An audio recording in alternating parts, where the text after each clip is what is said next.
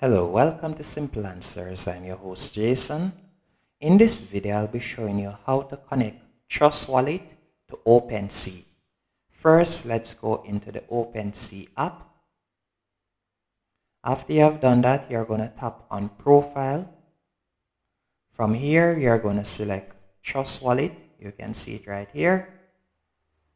By tapping on it, OpenSea will automatically go into your Trust Wallet account and you'll tap on connect and that's it so now if you should go back you can tap on save and leave and now if you should go back into OpenSea as you can see right here your Trust Wallet account is now connected.